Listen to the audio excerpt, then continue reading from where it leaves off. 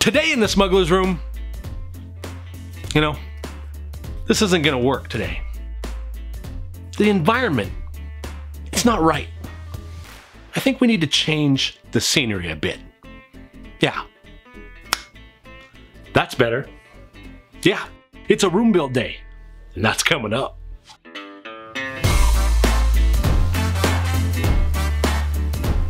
What's up, you awesome geeks? I'm Brian, and welcome to the Smuggler's Room. This week, this chubby geek is, well, we're back in the room, and we're working on the bench, and we're gonna bring it alive.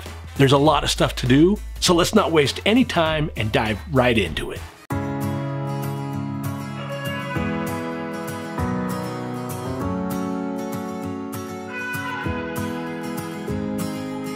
Okay, to kick things off, we need to finish up the remaining panels for the bench.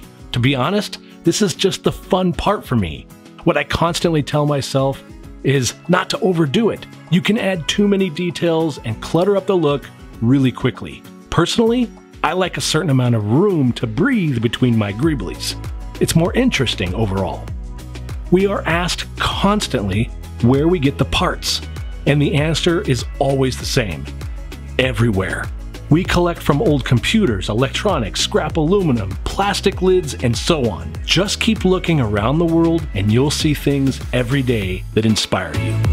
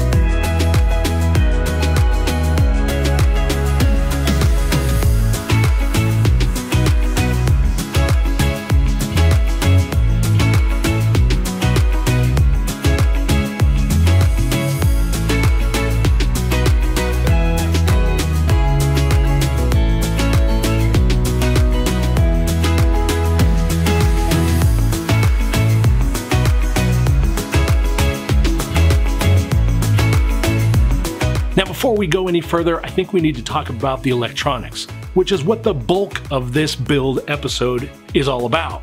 And it might be easier if we show a diagram, so at least you see the roadmap of where we're going. For the electronics, let's start with an Arduino.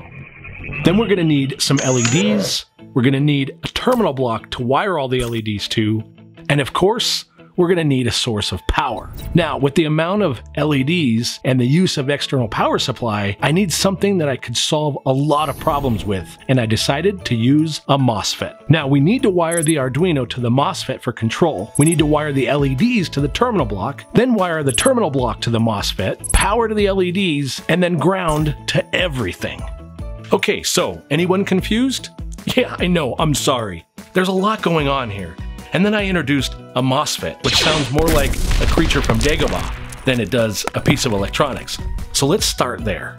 Okay, a MOSFET is a type of transistor, specifically a metal oxide semiconductor field effect transistor, MOSFET. It has three pins, the source, the drain, and the gate. They effectively control the electrical current flowing between the source and the drain contacts. Basically, this enables electrical devices to be turned on or off. Let's look at how we'll be using it. This is a wiring diagram for one of our panels, and I drew one up for each panel. You can see that this particular diagram has three of the MOSFETs. This allows us to dedicate a pin or multiple pins from the Arduino to the MOSFET, which we will gate the signal between the drain and the source that allows our signal to go through. Think of this like a series of pipes where you have a valve for each pipe, and as you open a valve, you'll let the water flow through the direction you want it to go.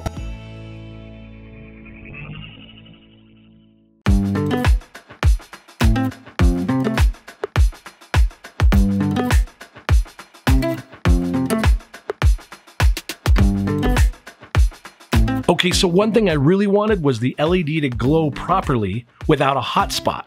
And that was the biggest challenge. But thankfully, there's an awesome subscriber like you, and because of that, I learned all about packing material as a diffuser. Now, I'm going to apologize right now because whichever one of you amazing geeks it was that told me about this, I can't for the life of me find your comment to share your name with everyone. So if it was you, say it loud and proud in the comments below because we sure appreciate it. This little trick and some Gorilla Tape was all that was needed. So much for my clever little acrylic LED boxes. Oh well, that's what happens.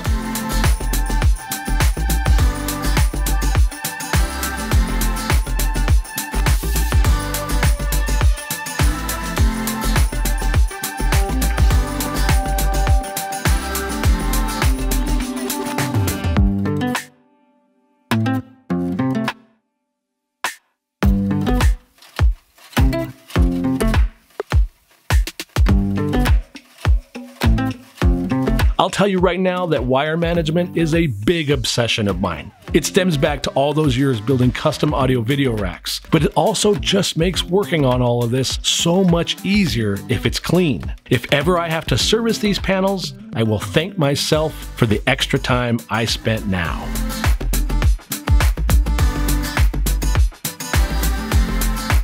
Okay, let's talk about how I mounted the panels. I drilled through the MDF with a slightly smaller diameter drill bit than the hex head bolts I have. I then drilled in the bolts. The MDF was soft enough to create threads out of the material, and it works pretty dang well. Typically, I'd use nuts on the other end, but the only people that are going to know about this are you and me, so let's keep that between us.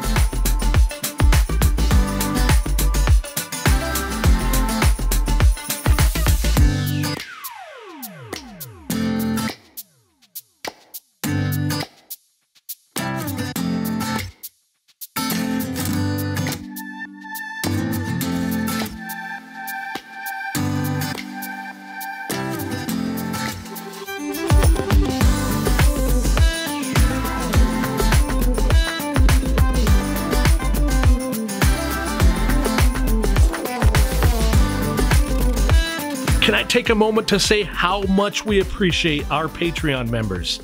You may not believe it, but all of you make this channel possible. We thank you so much. We're also gearing up next week as we're going to be sharing behind the scenes episodes as well as sharing the design process that goes into all of our projects. Finally, we're going to allow our patrons to help drive the projects we take on. That's right, we want your input on which projects we should do, which projects we should do more of, and so on. So if you're a Patreon member already, well, get ready, it's going to get exciting. And if not, then have a look below and consider joining us. Thank you very much.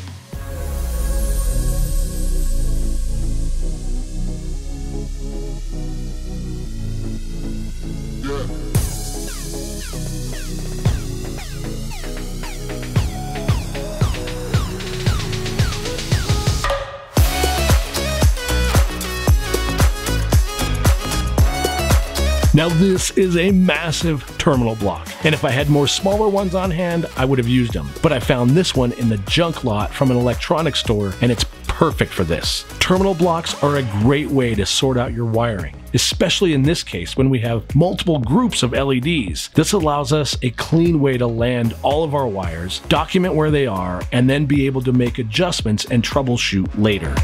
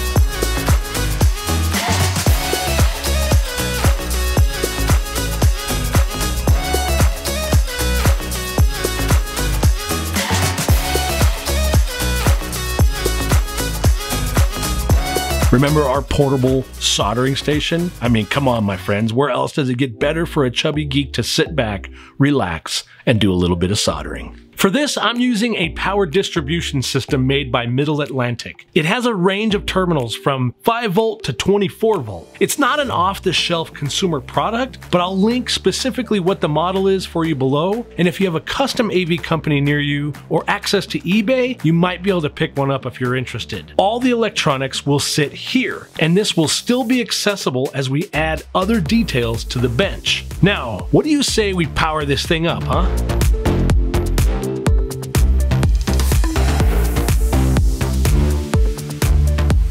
Okay, the lights are cool, but let's add just a few more things to this before we wrap it up. Do you remember our custom DL44 display project? If you haven't seen that build, we'll post a link above and in the description. But this is where we have always intended it to be on display.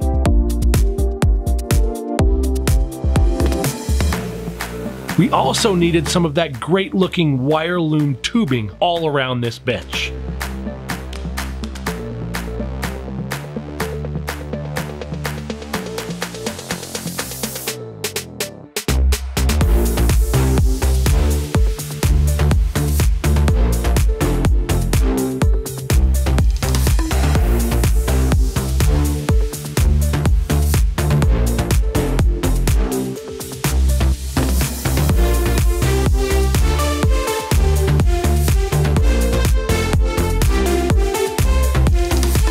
Now, all of these little bits are adding layers to our bench corner, but we realize it still has a long way to go. We added a little space gray paint to the back wall, but eventually, as we go along, all of this will be filled in.